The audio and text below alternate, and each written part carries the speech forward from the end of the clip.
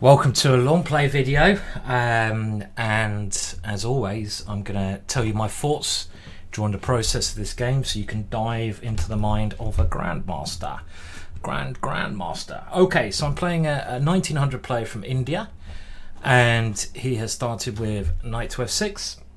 Now, the moves I normally play are c4 here or the London, but just for a change, I'm going to play Bishop g5, the, the so-called Trompowsky attack, made popular by a number of English players um, in, well, I'd say probably in in you know the 1990s probably.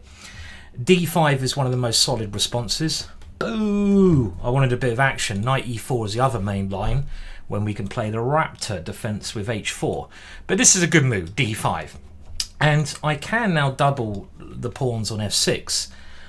But I've tried this before in some games, and I'm not so keen on it. I I prefer the move here, knight d2, which may look a little bit peculiar, but the idea behind this move is to stop my opponent going knight e4.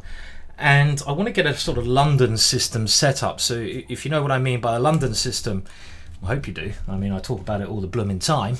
It's where I go c3 and e3 and create this pyramid like this. The only difference with this position is, of course, that my bishop's not on f4, which it normally is in the London system, but it's on g5. Pros and cons of that is I'm pinning the knight on, on, on f6. It's a bit more active. But after bishop e7, my opponent will be able to move the knight and swap off bishops, simplifying his position, making it possibly easier for him to get equality. I'm going to continue with the London system setup, e3, so I can get my bishop out. We need to get our pieces out at the start of the game. And the main advantage I'm trying to claim here is that my opponent's bishop on c8 is trapped behind these pawns, making it a bad piece. On the other hand, well, let's move my bishop out. My bishop here is a very good piece, maybe trying to attack h7 later on. And my bishop is outside my pawn structure here. Okay, so I have an interesting decision to make here. Do I play bishop to one of these two squares, retreating? Or do I take on f6 and maybe even follow up with something like f4? Trying to get a stone wall position, but I've got rid of my bad bishop. I think they're all uh, uh, equally okay. Generally, I want to keep the tension by keeping my bishop on the board, but that might not keep the tension for long because it would just move his knight and I have to swap anyway. So taking is a very simple way to play. And then I go f4, stopping him breaking with e5, and just go knight to f3. So I don't know what's best. But okay, I'll tell you what, I think I'm going to play, I'm going to keep the tension, bishop h4. Even bishop f4 there is not so silly. Because then, you know, with a bishop on this square, he, later on he can't move his knight and swap bishops. a6. Now that to me looks like a very peculiar move every move you play should have a reason. What is the reason behind this move? Does he really want to go b5? Well, maybe he does, but um, that doesn't seem like even a great idea for my opponent, b5. Because what's he doing with a pawn on b5? He's not really attacking anything on that side. Yes, he's gaining space, but I don't. I think this is a waste of time.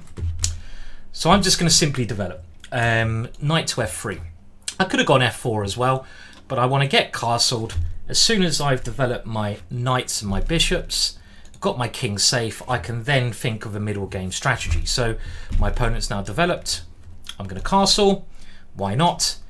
And you can see that I've left my pawn on c2, so I haven't gone c3, creating this pyramid pawn structure yet, because I wanted to leave the possibility of going c4. So my opponent's gone b5. I mean, this is the only thing to make make his plan look reasonably logical. And now there are a couple of plans. I could keep the tension for one more move as something like queen e2, connecting the rooks is always a good plan. I could try to go for e4, either with queen e2 or not. I could try going for a4, trying to sort of say, well, your pawn's actually misplaced there. Quite like a4 actually, the more I'm thinking about that. Um, I could even think about knight e5, which is a main, main move in the London system. There's lots of possibilities, lots of attractive possibilities. Knight e5 followed by f4 is certainly something I'm liking the looks of more and more. Knight e5, knight takes, pawn takes, knight d7. Well, maybe I let him simplify a bit too much. a4 is a very logical way to meet this b5 move, and I, I don't think that does me any damage, that move. Pawn b4 would be his best reply. Pushing on. Has that really helped me? Because he wants to go c5 and c4 next and get some activity over there. I mean, as he's playing a bit slow, it kind of feels natural to play e4, try to open it up, doesn't it? Because he's playing on the queen side, he hasn't castled, so I'm thinking, how can I take advantage of that? Well, maybe a move like e4. Pawn takes, knight takes, knight takes, bishop takes, hitting his rook. e4, trying to open things up and maybe going e5 while his king's in the center. I'm liking e4. Let's go for e4. This to me looks like the most logical move because he, he's played these moves on the side. He hasn't castled. So he's wasting a bit of time by playing these two moves. His king is in the center, so my king is castled. I'm fully developed. Every piece, minor piece of mine, bishops and knights are developed. So I want to open up the position as quickly as I can to try and uh, punish him for, for not castling and playing these slow moves. So e4. And I've got to consider, well, you know, next I might want to play e5 because having a pawn on e5 is is quite nice in a lot of positions. I mean, it's not as solid as having a pawn on e, on e3, but it, it can it can benefit me well. So he's broken with c5. Now again, I can try to keep my pawns here by going c3, getting a pawn chain. Taking on c5 allows his knight to, to get a very active square. Why do I want to activate that knight on d7? I, there's no need to do that. But I also have ideas here of either taking or going e5. So I'm just thinking, what should I play? Well, if I take on d5, not a silly move. If he takes for the pawn, I quite like my position because well, I just feel like I have the E file. I feel like I have good development. I think I think after pawn takes, the only move I'm worried about is knight takes, because then he tries to swap bishops. These guys, and he tries to get his knight into somewhere like f4. So can I think of a good move after pawn takes, knight takes? What what what can I play there? I can't think of a good move. I will eliminate it from my thoughts and think about something else. So pawn takes, knight takes. Uh, no, I'm eliminating that one. Okay, so what about e5? e5, he moves his knight. Let's say he moves his knight to this square. You know what? All these moves, I, I don't. I'm gonna play. I'm gonna play the move c3 because I don't want him kicking my bishop off this diagonal. My bishop here is very good. If he castles, it's very good for starting an attack. I want to keep my pawn on d4. I don't want to take anything with that pawn because it frees his pieces up. Why free your opponent's pieces? And this threat of e5, I don't know if it's a threat, but it's an idea. Why not keep it in the air? Okay, so he's gone bishop e7. Now, if I play e5, he can then move his knight into e4. I can swap bishops and then try something like queen e2 to dislodge his knight on e4 and that to me looks like a, a, quite pleasant position for me. The other thing I can do now is try to keep my pawn here, but after queen e2, his rook is no longer being attacked after a capture on e4. So queen e2, I'd expect him to take on e4, knight takes e4, knight takes e4, and too many pieces again exchanged. I, I don't like it, so I'm going to play e5. I don't. I don't exchange too many pieces easily. You know, I, I want to keep some tension. So, you know, if I'd have played Queen E2, it allowed him to swap so many pieces on E4. You know, he could take on E4 with the pawn, with the knight, with the bishop.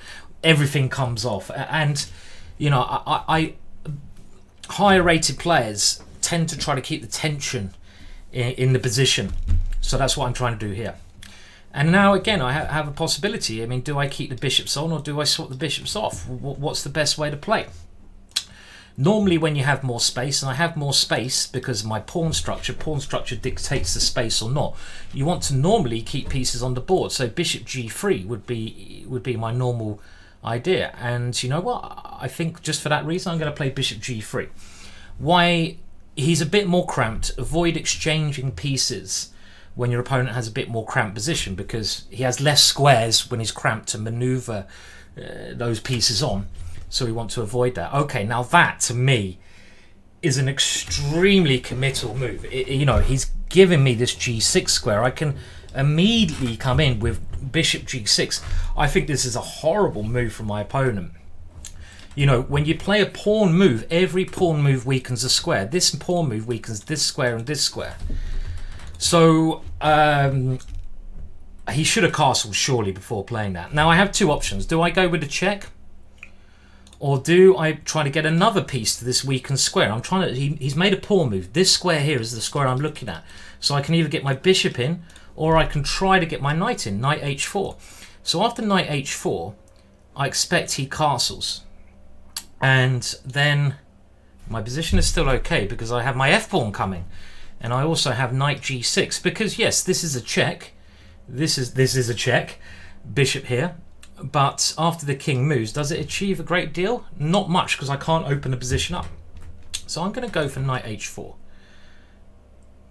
Because this looks like a very nice square for my knight. And like I said earlier, you know, the bishop, you know, you understand pawn structures when you learn more, you know, as you improve as a player. And I know this pawn structure, which is very like a French defense pawn structure. This pawn structure here makes this bishop fantastic. Why? Because my pawns are on dark squares, so they kind of block my dark square bishop for now, but my light square bishop can work around my own pawns. So my opponent has come back to try to defend against some of these ideas, and this check now looks like the best way to continue. Why, why not? Why not throw a check in, Forces king to come to d7? Let's do this. And then what I've got to consider next is trying to think of a way to open up his king position. Taking here I don't like because it allows his knight in. Something like f4, f5 could be a much more logical way to play. If I go f4, he can go f5 trying to block things, but then surely a piece sacrifice on f5 has got to be very tempting because my two pawns are going to be very good. So I'm going to go f4. And uh, the idea of this move He's gone here. So now I'm gonna. I, I, he wants to block things up because his king is a bit weak. So I, I really now want to sacrifice on f5. Now I'd like to play knight takes f5, but g6 is very annoying because it attacks my queen. So I think I might have to go bishop takes f5 and sacrifice like this. Just double checking because of course sacrifices are always risky affairs, and you know I don't know. I don't know. Do I do that or not? The other thing is, do I wait and do I do I play a move like a4? And because I want to open up the position now because his king is on, on this stupid square. So I'm just trying to think the best way to open up the position. I think I'm going to try to open it up as much as I can. Then he can go c4 though, and he blocks it up. Ah, but then I take here. Okay, let's go for this. So I want to open it up. If he goes c4, then I will sacrifice bishop takes f5 because I maybe open up an a file. Okay, I'm going to play this. I mean, it just feels like the natural natural continuation to me. Um, you know, I don't know if this is even particularly. I, I've played this particularly brilliantly. I have to admit, but it just seems like a natural way to continue. Um, because I open up his king, I want to move my queen out the way and move my f pawn and e pawns up the board. So it's certainly one of the most interesting ways to play. So I need to move my queen, or I could come in with some knight move, but my main idea is to move my queen and go f5. So if I do that, can he go f5 himself? Well, then I have knight f5. Let's do this. So where, where do I move my queen? Maybe here's better because I, I, I attack this square. So let's keep it the most active I can. And the idea is to go f5 and to put a little bit of pressure here. I want to go f5 with my bishop here will open up. At the moment, these two pawns in the way of the bishop. And yes, I, I, I've sacked a piece for two pawns. But the idea is, if I can get these pawns going, I they're going to become extremely strong pawns. And I could have had the same position without a pawn on a4, but I feel like it's good to have a pawn on a4 here because it gives me more options of opening up the queen side. Okay, so my opponent has decided to swap off that knight I don't want to swap queens. Of course, I don't want to swap queens. I could have uh, considered that one, but then I think I lose a piece. So I'm just going to go simply taking. And of course, he should now really consider this one. Okay, well, this move I'm very happy to see because I'm just going to go f5, which is my plan anyway. And I want to play e6 next. And even though I'm a piece down, the one of the reasons this is working so well or, or at least decent compensation, is that if you look at my opponent's pieces, whenever you sacrifice, don't just look at your own pieces, look at your opponent's. My opponent's pieces are really constricted. They can't move. I mean, think where my opponent can move his pieces. Neither his knights can move. Now, he's gone g5. Of course, I can't take en passant because I lose my queen, but I am going to play bishop here with a big threat, as I, as I said before, of e6, check, winning the queen. And also now, this move he's played is very risky because he's given me two connected passed pawns. So I'm very happy with how this is going at the moment. So he's bravely moved his king forwards. Okay. Now, like I said before, pushing pawns is, is always a tempting thing to do, but it can be very weakening. If I go e6, move I'd like to play what the thing I said earlier, whenever you push a pawn, you weaken squares, and you always have to think about that. What squares does e6 weaken? It weakens f6, and I, I don't want to allow his knights to suddenly move. So I think here, going back to the Nimzowitsch idea, the threat is stronger than the execution. I want to keep the possibility of e6 in the air. So I'm thinking now, my knight's the only piece not working. Why don't I play knight f3? And uh, then when e6 comes, my knight can come into e5 with backup. But if I go knight to f3, the one move that puts me off at the moment is h5. Because if I go queen takes h5, he goes queen takes f5. And I've got to find some tactical idea there. Otherwise, I'm not sure I like my plan. I mean, maybe I can still play a move with e6 there, but I, I, don't see why I should be doing this. I might even play a super positional move like h4, trying to go h5, just to really show him who's boss here. h4, he goes h5, then I take it. You know what? I, I kind of like this h4 move. It's a very slow move. And the only reason I'm playing this is because, again, he can't move this knight. He can't move this knight, so they can't move. He can't really move his bishop. He can't really move his rooks, they don't do anything, and he can't really move his queen, so I don't see what he's doing. So why not just improve my position? And the idea of this is to go h5, because then I kill his pieces. Now here, I'm going to continue with my plan. I'm going to play h5. I want to kill his pieces. Why does this help me? Well, first of all, it stops him playing h5. Number two, I gain more control over g6. And it's a very useful plan. This it, it's gaining me more time. I'm not rushing. If there was more urgency in my position, I'd be playing quicker with like e6 and e6 and f6. But there's not more. I don't need to rush. Okay. Now it looks like it's time to open up the queen side because he's moved all of his pieces away from the queen side. So surely something like taking here is the natural way to play. So I'm going to do that. And this gives me options of my rook coming in at, at, the at the right time. So I just want to, I'd, I'd love to get my knight in the game. It, it's a pity that I can't get this guy in the game at the moment. So he's not doing anything. He can't move any of his pieces. So why don't I just open him up more?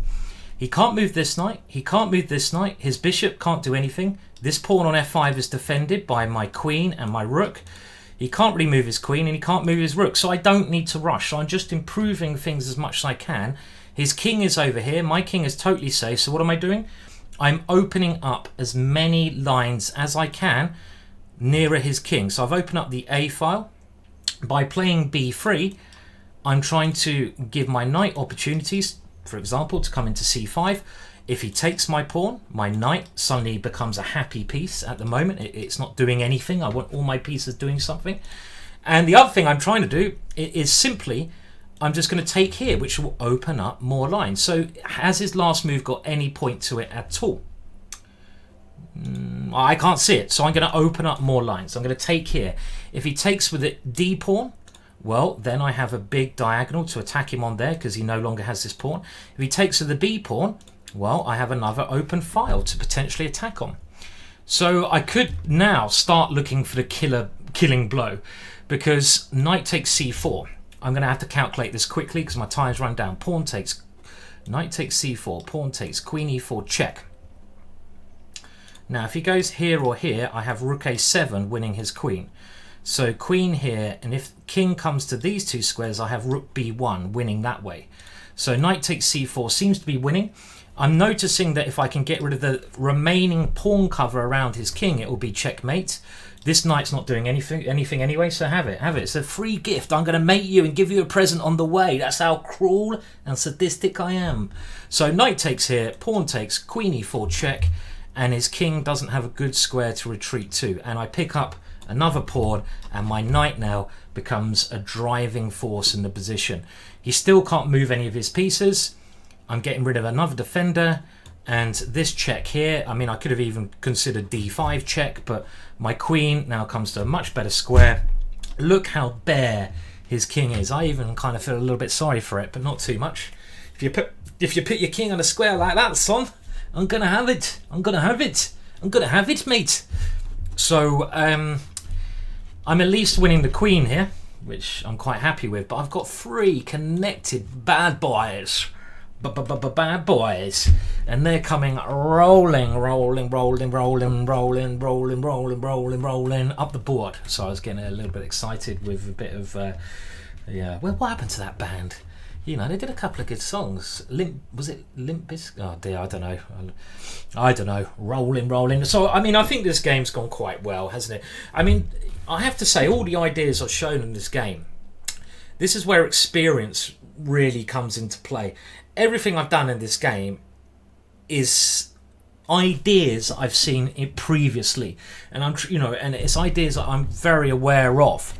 Um, and they've just all seemed to work. I haven't really even calculated that much. It's it's knowing the right ideas that will give you the right wins. Okay, so rook a7 is good. What about e6 check? I have to calculate this. When you see a good move, look to see if there's a better move. So e6 check, king d8. Now, there I have, oh, this is getting quite pleasant. Queen here check, not for my opponent. If bishop here, rook here. If queen here, I win his queen for a pawn. So knight here, and uh, then his king is in a real kabubble. And I can go queen a5, check, and then he's only moves knight b6. I take that one, check, and I win the game. So this is even stronger, e6 check, unleashing this beast e6 check. Well, his king can't go anywhere else, can it? No, it has to go here. Then queen d5, game over. Let's go for that one. I mean, look at this. This is this is a joy to play. And the point is, king here, queen here, check. I've already calculated it. You should double check your calculations. Calculation is the key. The key behind chess. Um, you know, you need to know the ideas, back up your ideas with calculation. This is this is what chess is about. This check here and this checkmate in two more moves. Put that in your pipe and have a smoke, son. Um, and knight here takes, queen here takes, checkmate. Checkmate, sir. My opponent maybe moved a little bit too quickly there, but um, you know, it, it, it's the way it goes let's hope. And he has resigned in good time. Thank you for the game there, Harsh Ruperella. Um, an interesting little game, and again, you know, one thing I, I want to, you know, if you're if you're starting out in chess, if you're getting more developed in chess, I my biggest bit of advice I give to people is play the same openings all the time. Okay, I mean this opening, it was uh, normal developing moves. Now, where it got slightly interesting, I think, is where I played e4. Now, I've played the French defense, which, if, if you flip the board, if you imagine from the black side, this pawn structure I've highlighted on the black side most of my life. So I know the ideas that black should be doing, and I know the ideas that my opponent, white, should be doing. Hence why all my moves here are pretty natural and this f6 move was far too premature. My opponent should obviously castle first and then maybe go for f6. But I can fight that with a move like rook e1. So when he plays f6, I can take and take on e6 kind of thing. So it's a normal French defense structure. f6 is too premature. My opponent now plays some funny moves. But here, he has to go f5 before I can play f5. If I can get my pawn here, I will open all these guys. I'll rip them off the board. I'll literally tear them off the board. And his king will be on a free firing range. And I'll get my AK out and I'll cock it and I'll go, thank you very much, son. But uh, that's why I went F5. Now, my next idea here is, and I've seen this many times in this kind of structure, that if you can win these two pawns for a piece in this particular pawn structure, it's normally worth it because the E pawn is so strong and the F pawn. And again, I, have had this happen to me, so I've learnt from mistakes. But first of all, it was quite crafty. I play A4. Why was this crafty? Because as we saw, when I open up the A file later, it helps me drastically. He really has to try to keep things closed. And now I unleash the sacrifice. And well, around here, um, my opponent can definitely defend better. Um, but I'm pretty sure I, I, I have enough compensation. The computer might not say I'm better, but I must have enough compensation. If he ever plays g5, I can even take it and my rook comes into f7, a very strong piece. And if he doesn't do anything, I'm simply going to push f5 and I'm constricting him. He can't move much. So this is a good sack. And the way the game went, well, as soon as I get this move in, I'm very confident here. Even though I'm a piece down, another reason this sack works is my opponent's pieces are so poorly placed, he can't uh, free them uh, and he can't free himself in this position. So thank you uh, for watching this video. Um, I'm going to try to do some more videos this week. Uh, I'm going to also be trying to stream, let me just show. Um, every day this week if I'm permitted to. I don't know if I better stick to this, but I'm aiming to stream at 8 p.m. British summertime every day this week. So I'm hoping I can stick to that. Uh, I'll do my best to, but you might better catch me in the evenings this week on my channel, uh, my Twitch channel, which of course you can see there. So thank you all very much for watching this video and uh, cheers. I'll, I'll, I'll, try to get some more YouTube videos done uh, over the over this week. Goodbye for now, and I'll, I'll catch you all soonish tonight, hopefully. Bye.